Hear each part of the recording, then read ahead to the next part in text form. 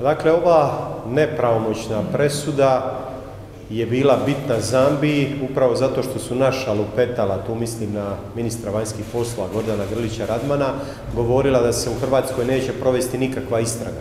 I zato je Zambiji bilo bitno provesti ovu istragu, međutim, ovo ne govori ništa o tome je li se dogodila trgovina djecom.